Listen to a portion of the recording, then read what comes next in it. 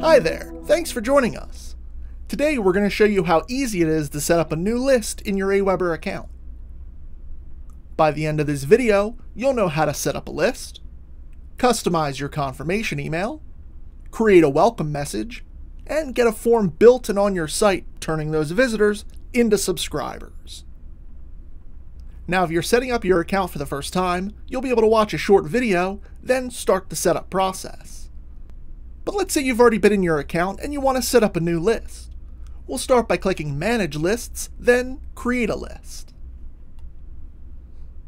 Here we'll begin by entering our company's name and URL.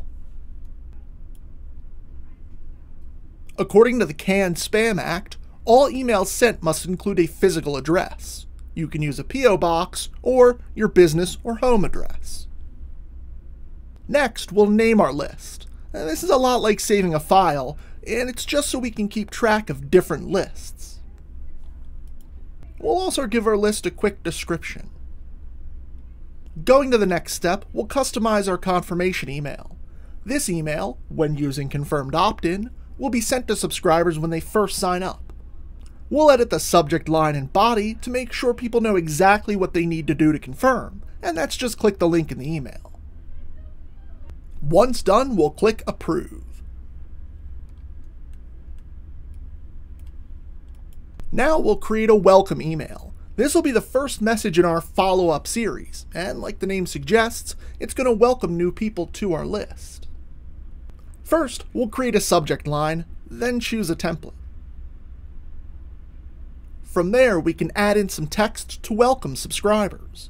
Again, this email is going to welcome people and let them know other key bits of info like how to connect with us, some basics about our business, and what they can look forward to in future emails.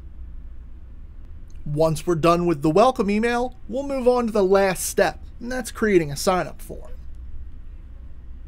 We'll start by choosing a template for our form. We can customize the form by adding more than just name and email, but we want to be careful. Too many fields can discourage people from signing up, so we'll try to keep it to a minimum. Now we'll just add a headline to our form, letting them know what this is all about. Now moving on, we'll give our form a name and choose what kind of thank you page we'd like to use.